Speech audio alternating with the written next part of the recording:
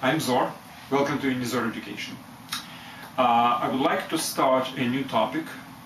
Um, it's uh, about systems of trigonometric equations. Well, first of all, about the concept. Um, what is the systems? What, what are the systems of trigonometric equations? Well, you know that trigonometric equation is equation which has some trigonometric functions involved right? So systems uh, of trigonometric equations are exactly similar. It's some systems of equations with more than one unknown, and uh, uh, certain trigonometric functions are involved in this system. Now, um, is there any general methodology of solving the systems of trigonometric equations? Mm, well, no, but regularly, you know, the substitution method, um, which is similar to substitution method in, in other systems, in algebraic systems, um, is usually something which might be involved, not necessarily. Um, actually, the more interesting examples of uh, systems of trigonometric equations do contain the substitution as part of it, but that's the most trivial part. The most interesting part starts after the substitution is done, and you have to basically solve certain trigonometric equations. So um, the best way to, to learn about systems of trigonometric equations is to solve them. And you know my recipe for, for all kinds of learning math, it's just solve problems. The more you do, the more difficult the problems are, the more your mind is prepared for an unknown, whatever you can meet in your real practical life. And uh, that's the only recipe which I have in, in, in this particular case. So um, no particular skills will be developed by um, solving trigonometric equations or systems of trigonometric equations. It's just development of your mind, your creativity, your critical abilities, your analytical abilities, your ingenuity and intelligence. All right, so um, I would like to present one particular system and I will just solve it. Um, and then there will be certain problems um, which I will just, you know, continue analyzing and explaining, etc. So this particular lecture will be about one particular problem, one particular system of trigonometric equations, and uh, let's just follow the logic of this. Uh, the system is as follows a sine x plus b cosine y equals c. And x plus y equals d. So two trigonometric equations with two variables x and y. And as you see there are some trigonometric functions involved which allows us to basically say that, okay, this is a system of trigonometric equations. Although only one of them is really trigonometric and another is more of traditional algebraic form. Now, this is one of the simplest examples, and uh, it's basically solved using the regular substitution um, method, which uh, you might imagine would, would, would do in this particular case. So what do we do? Uh, we resolve uh, the uh, second equation for y in terms of x, which is this, and substitute into the top equation to get one trigonometric equation with one unknown, x. After we define x, then we can just define y as well. So, what kind of trigonometric equation will be as a result? A sine of x plus b cosine of d minus x equals c. Now, obviously, I cannot solve it without certain manipulations. And the first manipulation, which basically uh, is natural, is to open up cosine of the difference between two angles. So it will be a sine x plus b cosine d cosine x plus b sine d sine x equals c. Alright? Cosine of the difference is cosine cosine plus sine sine, and the coefficient b goes to both sides.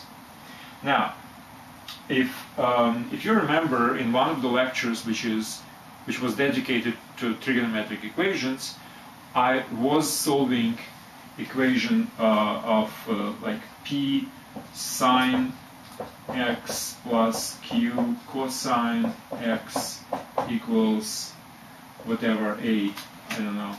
Um, and the way how I solved this equation was um, I multiply and divide this by uh, r equals to square root of p square plus q square. So I have r p over r sine x plus q over r cosine x equals a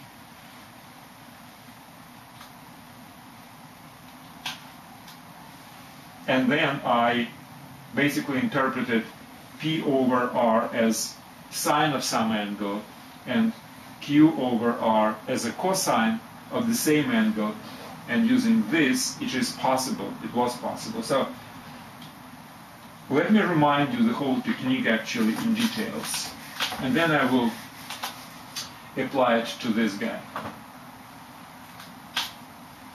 But first we have to convert it into this form so we bring together everything about sine x and about cosine x, right? So it's b cosine d cosine x plus a plus b sine d sine x equals c. So basically, I will call this P and this Q. These are constants, right? Because D is a constant. And A is a constant and B is a constant. So they are known constants. So instead of you know going into large formulas, I'll just use the letters P and Q P signifies B cosine D and Q signifies A plus B sine D.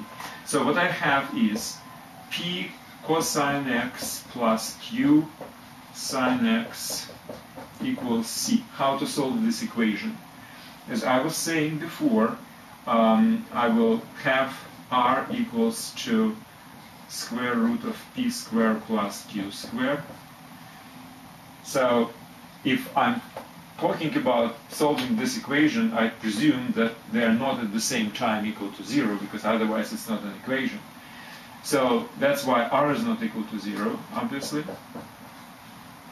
Now, p over r um, can be a cosine of some angle phi, and q over r can be a sine of this angle phi. How can I find this angle phi? Well, let's think about this way. If both P and Q are positive, now R is always positive, so cosine and sine are positive, are positive. Now cosine, as you remember, is abscissa of this point. This is cosine. And this is an ordinate is a sine. If this is a unit circle, and this is an angle phi. Alright? So, if P and Q are positive, then I can actually say that the phi can be arc cosine of uh, P over R. Actually, you know what? Let me just invent one particular angle, alpha, which is arcsine of absolute value of p over r. So absolute value is always positive. Okay? Absolute value is always positive, so I always have this angle alpha. So it's not phi, it's alpha. Now, angle phi is defined by these um, uh, identities. So, now we have different uh, cases. If uh, P greater equal to 0 and Q greater equal to 0, then my angle phi is equal exactly alpha, because it's in the first quarter. Now, if P, which is abscissa, is greater uh, or equal to 0, but Q is less than 0, so it's here. So abscissa P is greater than 0 and ordinate is less than 0. Then phi is equal to minus alpha. Right? This is alpha. This is alpha, this is minus alpha. Now if P is less than 0 and Q is greater than or equal to 0, uh, P is here, so it's here. So angle phi is equal to pi minus alpha. And finally, if both of them are negative, then phi is equal to, it's here, pi plus alpha, right? So if alpha is defined as this, where absolute value of p is always, always positive, that's why alpha is here, then whenever my, whatever my p and q are, I can always find angle phi using the angle alpha and pi in this particular case, depending on p and q, and definitely sine and cosine of phi would be whatever I'm looking for. Now, having that angle phi, which is calculated as through alpha and these inequalities, I can say that here, instead of this particular um, equation, I can put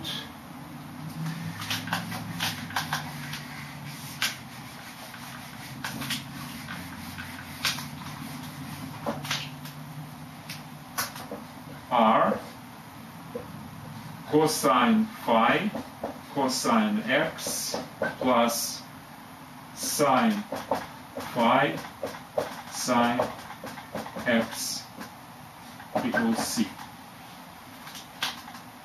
Because p over r is cosine phi and q over r is sine phi, right? So r is a factor multiplier factored out from which we can always see that cosine of x minus phi, because that's exactly what's in these parentheses, is equal to c over r.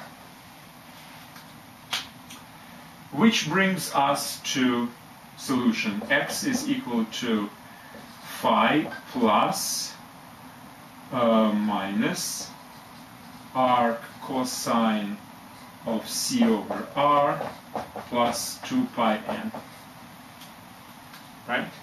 So x minus phi is equal to arc cosine plus minus arc cosine of c over r and plus p 2p. And then phi should be added.